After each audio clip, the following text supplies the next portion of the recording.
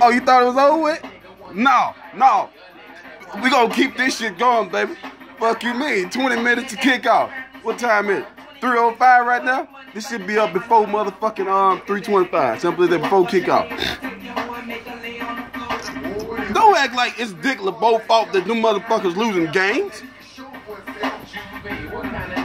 Oh, now Dick LeBeau ain't shit. Oh, now he ain't shit no more since he ain't with y'all. This is shit I be talking about, man. And like I say, you can try, but ain't nobody on your squad can hold motherfucking Gronkowski.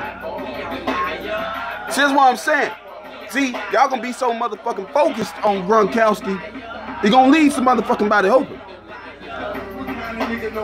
So you might as well get ready. You, you might as well get ready. We finna smack you bitches, man.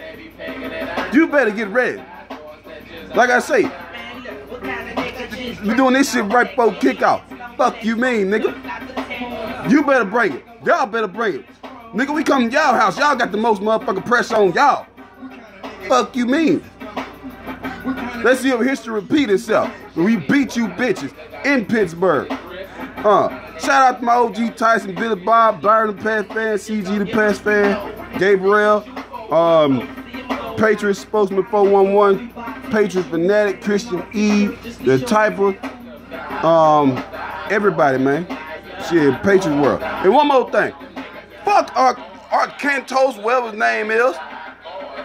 He better stay in that motherfucking comment section. Tell him to cam up. He, he, that nigga remind me, see, he talking like he remind me of motherfucker still 58. Still 58 been talking in the motherfucker comment section. Nigga, came up and talk to us, nigga. Fuck they mean, nigga. Nigga, elephants don't swat flies with these niggas.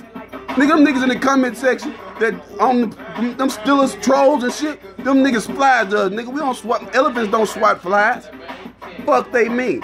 Uh, I let me.